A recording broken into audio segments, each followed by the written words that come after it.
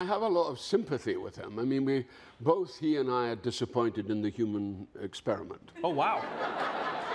We, you know, we think that humans have really screwed the whole thing up, quite Uh-huh, frankly. uh-huh. And, and it's getting worse on a daily basis. It is. You can applaud as much as you like. It is getting bad. But it is.